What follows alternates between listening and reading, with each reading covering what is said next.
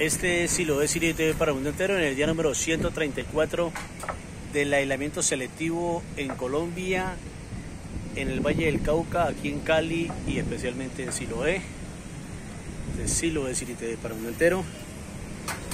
Comienza a caer la tarde para darle vida a la noche acá en Siloé con los siguientes datos de este día de pandemia 134.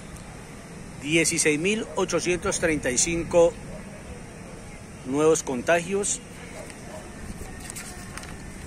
Perdón, ese no es el número, ese, ese número está errado. Hoy fueron 14.179 nuevos contagios.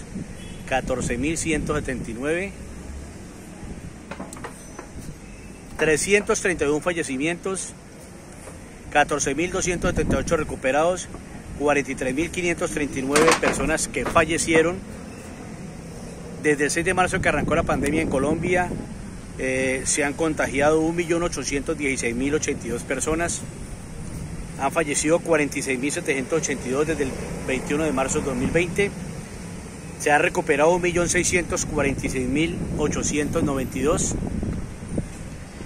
Eh, se han hecho 8.769.587 pruebas o muestras y hoy en puestos de salud, en hospitales, en clínicas, en cárceles, en fincas, en apartamentos y en viviendas de todo el territorio colombiano hay 117.293 personas contagiadas con la pandemia, a lo que el Ministerio de Salud le llama casos activos. 117.293 enfermos en toda Colombia. Este es Silo de Cine TV para Mundo Entero en el día número 134 del aislamiento selectivo en Colombia, en el Valle del Cauca, en Cali, en la Comuna 20, en Siloé. Repetimos, con 14.179 nuevos contagios y 331 fallecidos.